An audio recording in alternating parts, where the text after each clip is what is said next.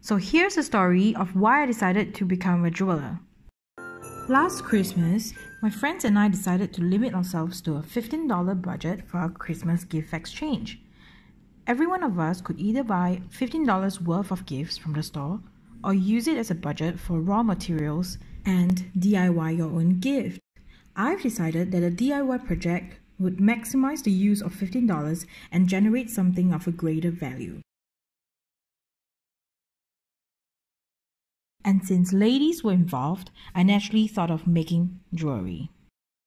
So I rushed into the local art store and bought a few items for a total of $29.50.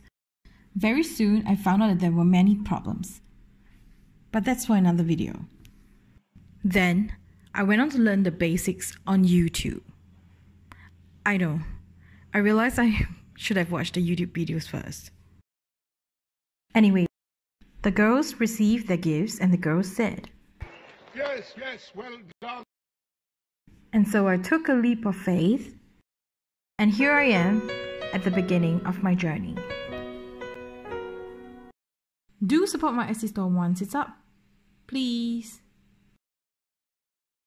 Thanks for watching. If you like my videos, please remember to like, comment, and subscribe. See you next time.